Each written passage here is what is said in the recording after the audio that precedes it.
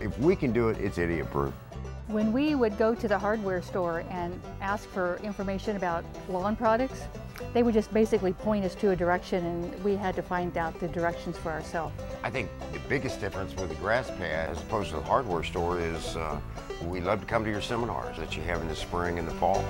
Come on down to the Come on down to the grass pad. The grass pads High on grass.